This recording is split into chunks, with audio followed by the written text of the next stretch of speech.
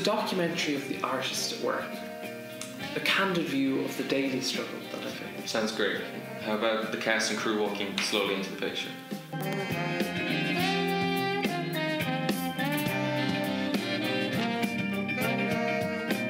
Perhaps I can't do Hollywood for this kind of documentary. Yeah, well, as an auteur, I like to add my personal touch to my work.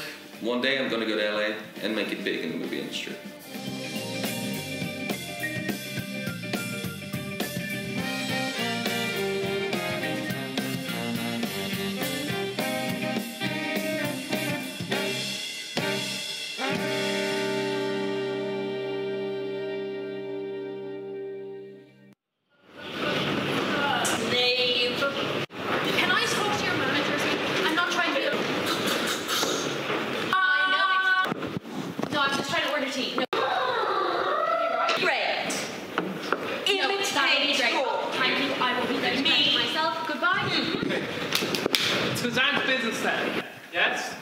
Dude, this is literally the perfect show.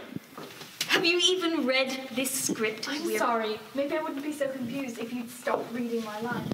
Reading your lines. You you think I'm jealous? Oh, I think you might. What's all this? You with the pineapple shirt? You can't have this here. You're blocking the exit. Uh, well, I'm, I'm sorry, but Julian said, This isn't Julian's stage. This is my stage. Me and Joe have been setting this up for hours. Right? You can't even bring a matchbox on here without getting my permission. All right. Those are the rules. In my position as author and director and producer of this play and documentary, I say that we need this exact camera angle in order to get the perfect shot. And I say you can't have that there. You're blocking the exit. But you're lucky I'm in a good humour today. I'll let you move it there and go on. Joe, would you please tell the stage manager that I've decided to change my camera angle? Uh, director said he changed it. Thanks, Joe. I heard it. Yeah. Joe, move that pile of rubbish somewhere else. Are you going to read your lines properly this time? This is a pivotal moment in the plot, so I need to see the full breadth of your emotional range.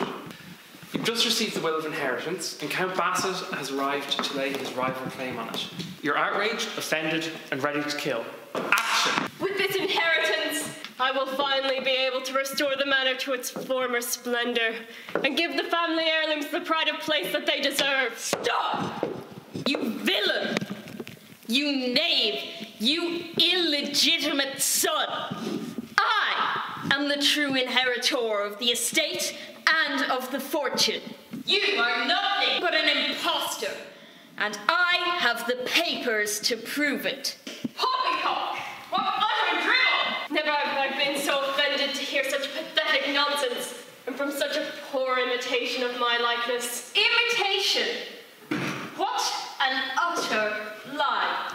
You do nothing but dishonor to my great great granduncle's legacy. Your granduncle's legacy.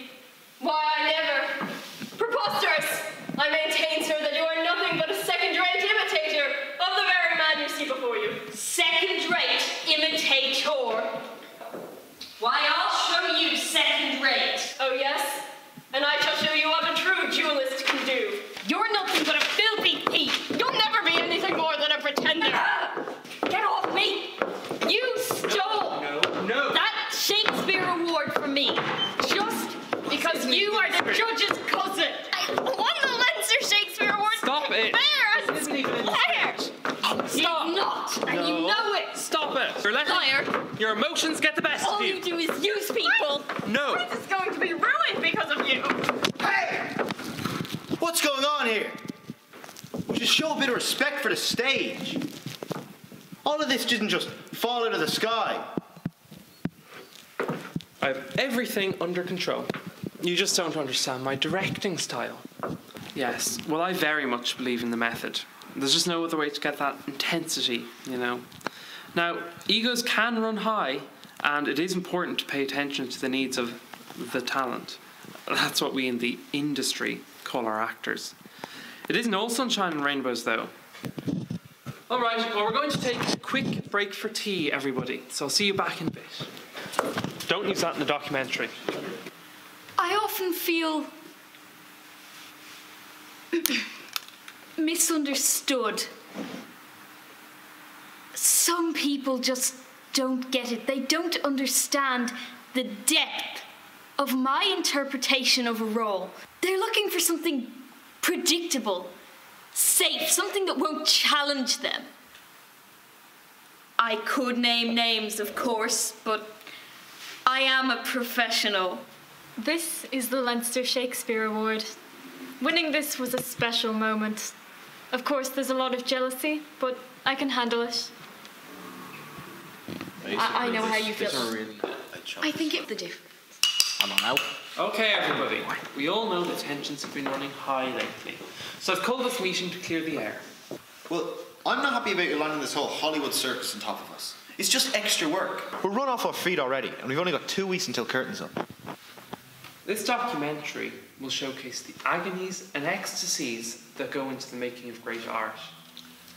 I am making a piece of great art, and you are merely building the showcase in which to exhibit it. Showcase for a work of art. Look it, you are staging amateur dramatics at the parish hall. It's not the West End. There wouldn't be a show without Joan on it. Speaking for myself, I am only too familiar with others taking the credit when they don't deserve it. Oh, really? And what's that supposed to mean? I, I, I, I know I'm only new here and all, but shouldn't we maybe try some team building exercises? Well, Maggie, that is an excellent idea. In fact, I was just about to suggest it myself. I don't know how you know. Since you are my personal assistant, I will allow you to implement my idea. Well, chop chop, we don't have all day. Yeah, well, I'm new here. Mr. White, I mean, Mr. LeBlanc, he's made me his personal assistant. I have to follow him around and fetch things for him. I'm in the play too, of course. I'm the butler. It's my first acting job, actually. I mean, it's not paid or anything, but we'll get to see my scene later. They're caught up on some fight scene or something now, but you know, Excuse me, I believe I asked for the Earl Grey. Thank you. I'll be back in a sec. I have to fetch his tea. Here's a few ideas for the team building. We're going to do a quick breathing exercise. So breathe in and breathe out. Good. Now everyone has to say something positive to the person on your left. I'll start, shall I? Um, well, you're the best director I know. Actually, you're the only director I know. But um, that's a really nice cravat you're wearing. Thank you. It's Louis Vuitton. Your turn. Oh, yes, of course. Well, you're. You're a practical man. And you know that is important in its own way. Practical. At least we agree on something. Practical. Someone has to be practical around here. Well, I guess I can't be surprised at this show. Me? Well, Joe, you're a, you're a good lad.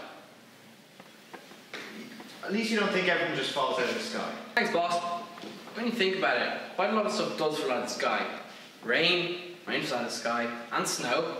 And once I was walking along, and a cardboard box fell out of the sky and hit me in the head. And a bird landed on my face. It fell out of the sky. It was meant to be good luck. But anyway, stuff does fall out of the sky. I think it's really cool that you're making a documentary about all of us. Why, thank you, humble stagehand. You, you have the presence. You are going to be in my biggest movie. It's going to be amazing climax, sunset, life, death, beauty, and you will be in the center of all of it. Thank you, Mr. Lomax. I'm so relieved that someone finally sees my true potential.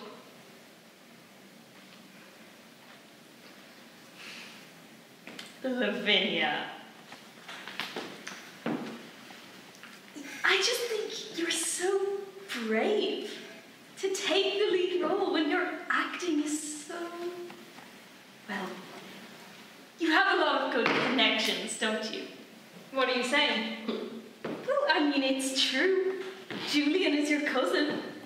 You think you would have gotten the lead role without him? I, I, that's nonsense. Julian is far above that sort of thing. The nice thing I wanted to say to you is thank you for upholding our family name and awarding me the leading role.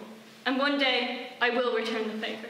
There you go, one big happy family. Why, you little git! Always so high and mighty. Well, I don't just keep these nails for looking pretty. Oh, Guys, we're all friends here. Come on. Please. Being the stage manager is like being in charge of a zoo, or, or circus maybe. I really wanted to join the circus, you know, to be an acrobat, but I ended up here instead. This lot thinks everything just falls out of the sky, ready made. But like, I'm in charge of everything health and safety, the whole lot. Stage manager says it's like a circus, and I think he's right. Now the butler enters with the second wheel on the tray. An action! Excuse me, gentlemen, but this has just arrived. Ah, at last, the proof I have been awaiting. What is this I see before me? Another cruel hoax?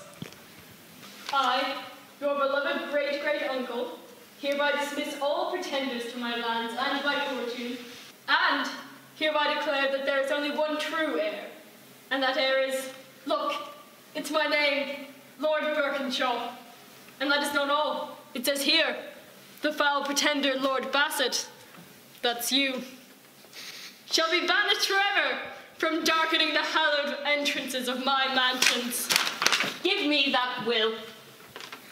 Look, it is clearly a forgery. Why, I would recognize your spidery scrawl anywhere. Even the spelling is wrong. How dare you, foul impostor!